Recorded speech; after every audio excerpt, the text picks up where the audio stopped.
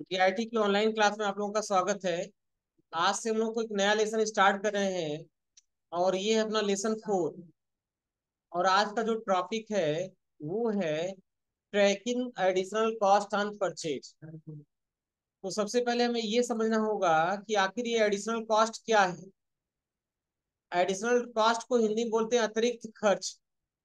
On purchase मतलब purchase पर लगने वाला अतिरिक्त खर्च। यहाँ पे हमको देखना है additional cost on of purchase यानी परचेज पर लगने वाला अतिरिक्त खर्च। तो एडिशनल कॉस्ट क्या है? जैसे मान लीजिए कि ये हमारा सप्लायर का गोदाम है, ये सप्लायर का बिज़नेस है। सप्लायर के बिज़नेस से लेकर और अपने बिज़नेस में लाने तक, कोई भी प्रोडक्ट को सप्लायर के बिज़नेस से लेकर अपने बिज़नेस में लाने तक, बीच में हो रहे जितने भी अन्य खर्चे हैं वो सारे खर्चे हमारे एडिशनल कॉस्ट कहलाते हैं। सप्लायर के बिज़नेस से लेकर अपने बिज़नेस में लाने तक, बीच के जितने भी खर्चे हैं, वो सारे खर्चे हमारे एडिशनल कॉस्ट कहलाते हैं।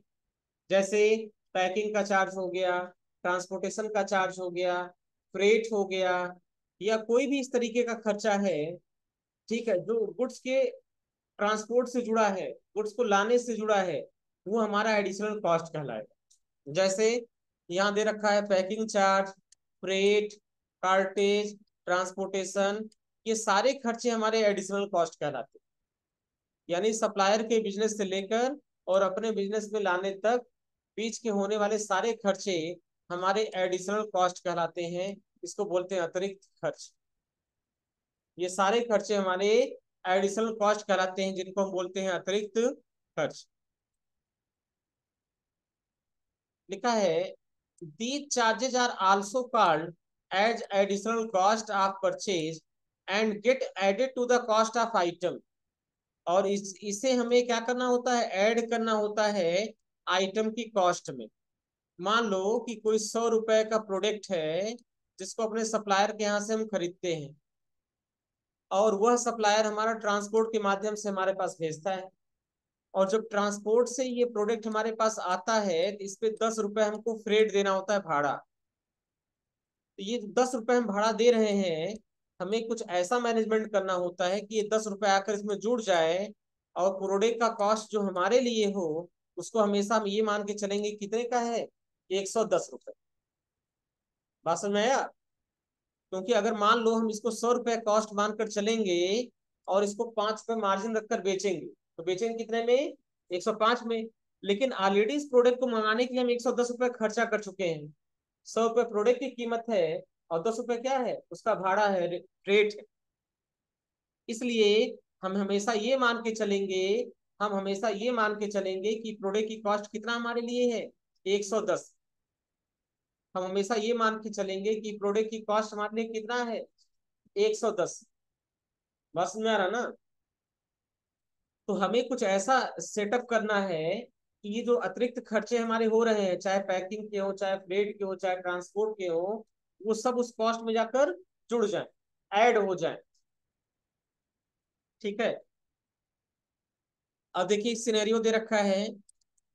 लिखा Sridevi international start started getting change by the supplier of additional expense like packing cost and transportation cost along with the purchase item. The company want to track the additional cost for each item they purchase. अब देखिए, सबसे पहले हमें क्या करना है?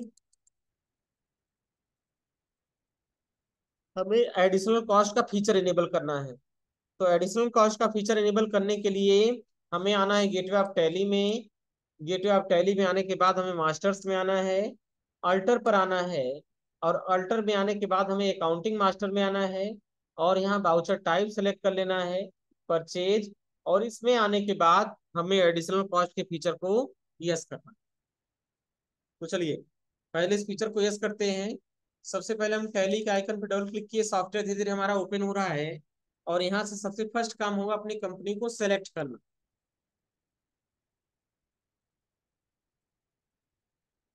तो सबसे पहला काम हम करेंगे अपनी कंपनी को सेलेक्ट करें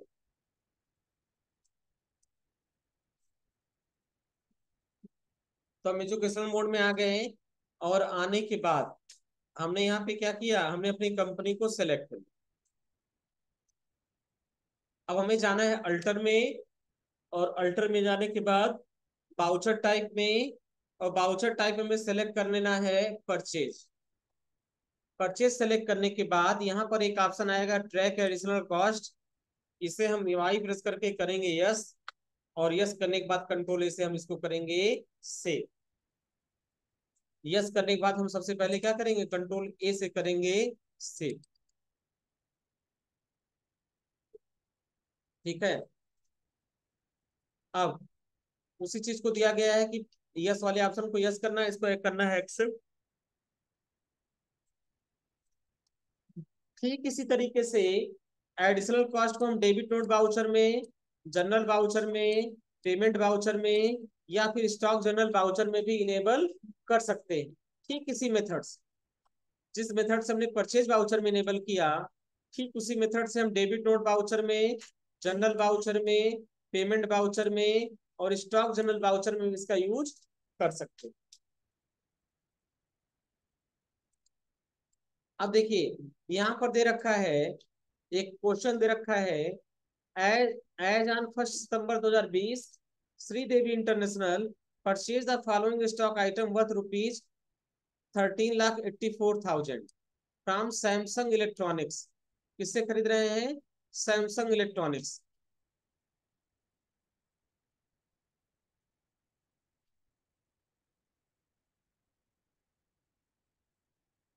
देखो, यहाँ पे थोड़ा सा मिस्टेक दे रखा है। देखिए ध्यान से, अब यहाँ पे हमें क्या करना है? हम आ गए सीधे वाउचर मोड में सप्लायर का इनवाइस नंबर दे रखा है, पता नहीं है, इसलिए हम डबल वन लिखकर छोड़ दे रहे हैं। हम क्रेडिट करेंगे। देने वाला हमेशा क्रेडिट होता है, और यहाँ पे जो हम परचेज करें वो सैमसंग से कर रहे हैं। तो सैमसंग प्रोडक्ट देने वाला हो गया, इसलिए सैमसंग इलेक्ट्रॉनिक्स को करेंगे हम लोग क्रेडिट और क्रेडिट करने के बाद कंट्रोल ए से हम इसको एक्सेप्ट करेंगे। यहाँ वैल्यू भर देंगे तेरह लाख चौरासी हज़ार। टोटल परचेज कितने का हो रहा है? तेरह चौरासी का।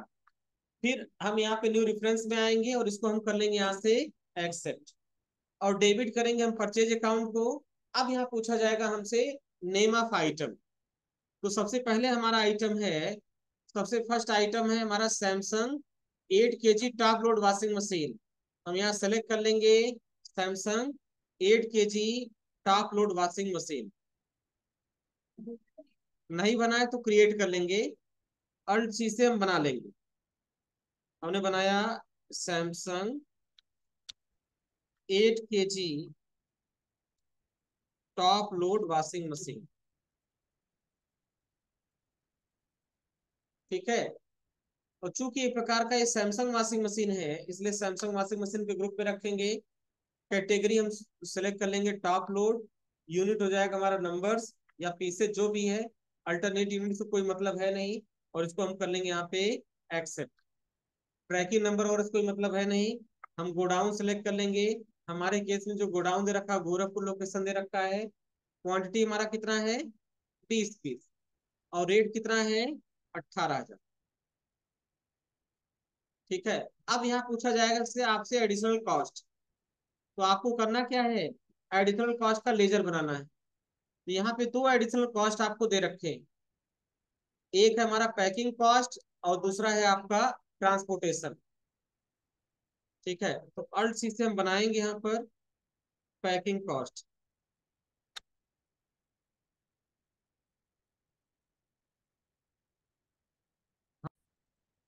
हाँ ध्यान दीजिए यहाँ लेजर बनाएँगे हम पैकिंग कॉस्ट का, और ये हमारे लिए हो जाएगा डायरेक्ट एक्सपेंस।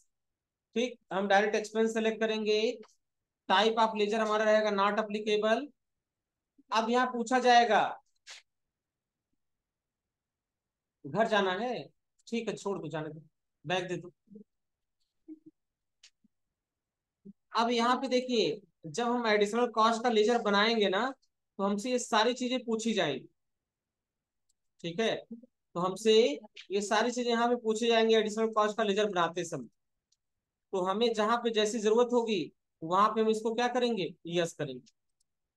तो यहाँ पर हमें सेलेक्ट कर लेना है अप्रोप्रिएट बाई क्वांटिटी समझ में आ रहा ना? हम इसको सेलेक्ट कर लेंगे अप्रोप्रिएट बाई क्वांटिटी क्वांटिटी के हिसाब से इसका जो है लगेगा। और इसको हमने कर लिया एक्सेप्ट अब पैकिंग कॉस्ट कितना आ रहा है? देखो, जो हमारा एट के जी क्वेश्चन में देखिए, चार हज़ार रुपए कॉस्ट आ रहा किसके लिए? टॉप लोड वाले के लिए। तो हमारा यहाँ पे चार्ज कितना हो जाएगा? चार हज़ार। अब ये चार हज़ार रुपए जब हमारा डिवाइड होगा तो डिवाइड होने के बाद देखेंगे इसका कॉस्ट हमारा बढ़ जाएगा। इंटर करिए। अब देखो। ठीक है? अब देखो इसका एक्चुअल कॉस्ट कितना हो गया? अठारह हज़ार दो सौ रुपए। तो हर आइटम के पीछे दो दो सौ रुपए रेट बढ़ गया। क्यों? क्योंकि चार हज़ार रुपए इसमें हमारा पैकिंग कॉस्ट भी जुड़ा हुआ। अच्छा इतना ही नहीं। इसके आप आगे बढ़िए।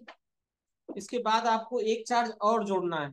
देखिए, हमने यहाँ सेलेक्ट कर लिया। सेलेक्ट करने के बाद हमने पैकिंग कॉस्ट यहाँ पे जोड़ दिया चार हज़ार। अब हमें यहाँ पे एक कॉस्ट और जोड़ना है। और वो कॉस्ट हमारा क्या है? ट्रांसपोर्टेशन का।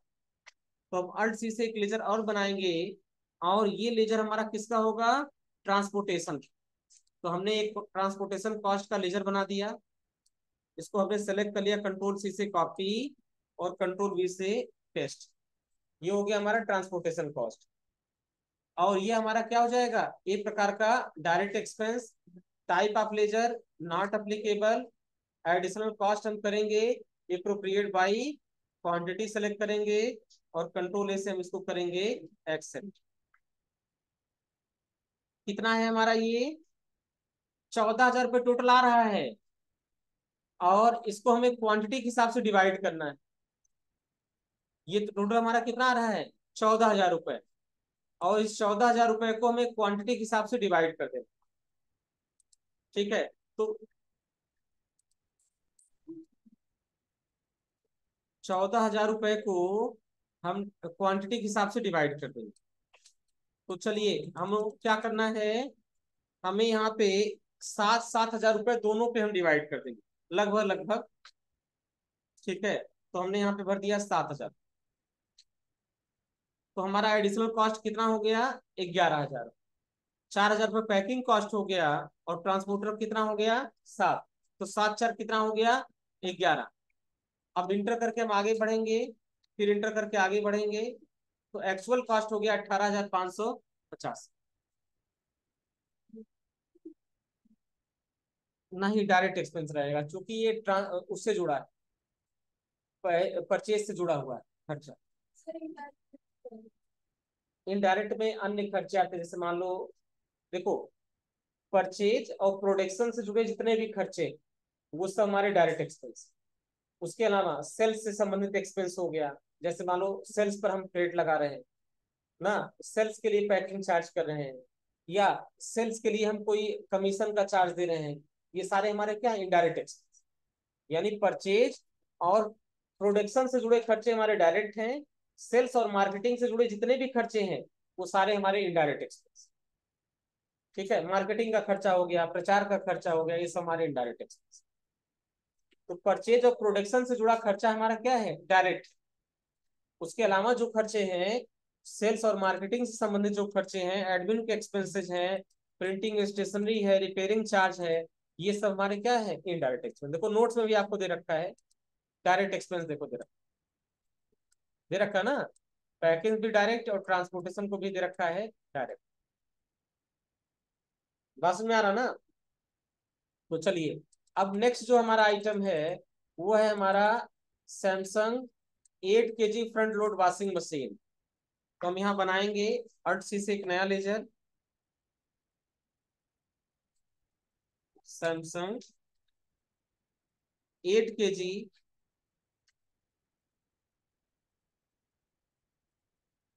front load washing machine और इसका ग्रुप हो जाएगा Samsung washing machine category not category हो जाएगा हमारा front load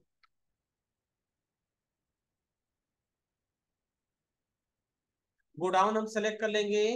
Gorakhpur location quantity कितना है? पच्चीस पीस रेट है हमारा चालीस.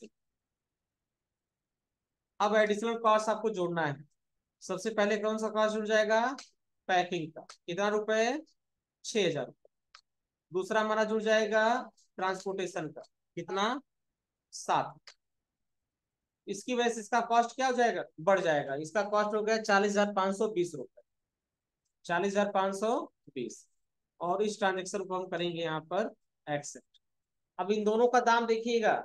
सैमसंग एट के जी वाले का। जैसे हम जाएँगे स्टॉक समरी में, और यहाँ पे यह फाइव सम आइटम वाइज पर जाएँगे तो एट के जी वाले का देखो दाम बढ़ गया। इसका खरीद कितना था? अट्ठारह। लेकिन यहाँ कितना दे रहा? है अट्ठारह हज़ार पाँच सौ पचास। तो साढ़े पाँच रुपए दाम क्यों जुड़ गया? क्योंकि सिर्फ़ पैकिंग और ट्रांसपोर्टेशन का चार्ज हमें अलग से देना पड़ा इसलिए। बात समझ आ रहा ना?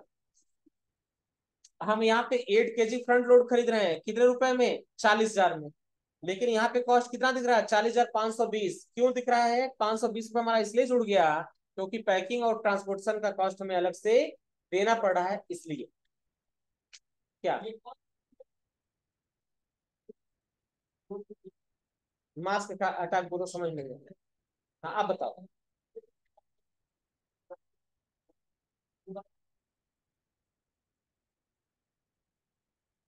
ये हम खरीदते समय दे रहे हैं।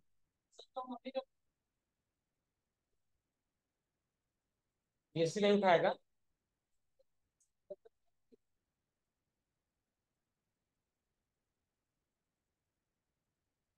ये ये परचेज करते समय एडिशनल कॉस्ट हम दे रहे हैं।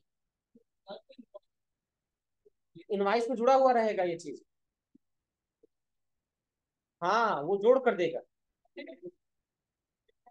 हाँ वो परचे वो सेल जो हमारा सप्लायर है, वो अपने इनवाइस में दोनों खर्चे को लिख कर देगा, जोड़ कर देगा। कि ट्रांसपोर्टेशन का इतना है पैकिंग कॉस्ट इतना ठीक है? हाँ वो लिख कर देगा, तभी हम एंट्री करेंगे।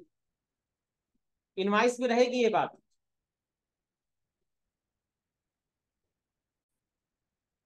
हो गया हमारा एंट्री तो पहली एंट्री हो जाएगी आप लोगों का। सबसे पहले फीचर्स इनेबल करना है। फीचर्स इनेबल करने के बाद पैकिंग और ट्रांसपोर्ट का लेजर बनाना है।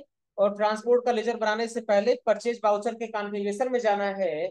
और वहाँ पे ट्रैक एडिशनल कॉस्ट वाले ऑप्शन को करना है। यस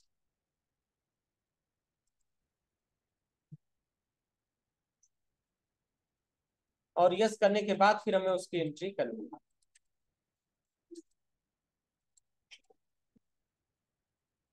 फिर उसके बाद स्टॉक समरी रिपोर्ट आपको चेक करना है। और चेक करने पर आपको पता चल जाएगा कि इसका कॉस्ट अट्ठारह हज़ार की बजाय अठारह हज़ार पाँच सौ पचास रुपए दिख रहा है। अब नेक्स्ट है हमारा।